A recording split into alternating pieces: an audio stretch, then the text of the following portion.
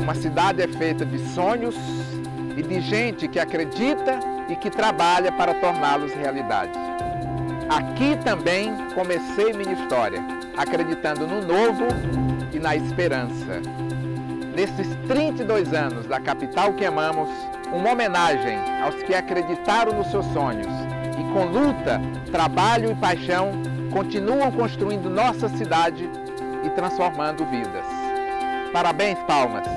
Parabéns a todos os palmeirenses!